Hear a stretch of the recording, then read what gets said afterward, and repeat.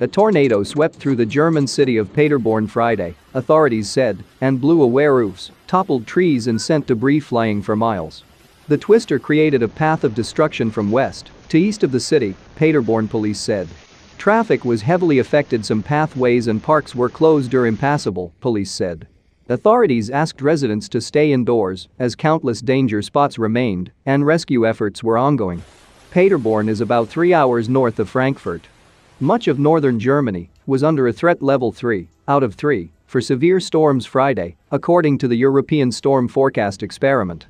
The level indicates a possibility for severe to extremely severe wind gusts, large hail, tornadoes and heavy rain, the team said. A dangerous situation is expected that may feature a convective windstorm with long swaths of severe to extremely severe wind gusts and several supercells with large hail and tornadoes. With the highest threat over central parts of Germany, there were several other tornado reports Friday, including one in the Netherlands, close to the German border and three in Germany, meteorologists said. While tornadoes in Europe are not uncommon, there are usually far fewer twisters than are recorded in the US annually. From 2011 to 2020, the U.S. averaged a preliminary total of 1,173 tornadoes per year, and Europe around 256, has previously reported.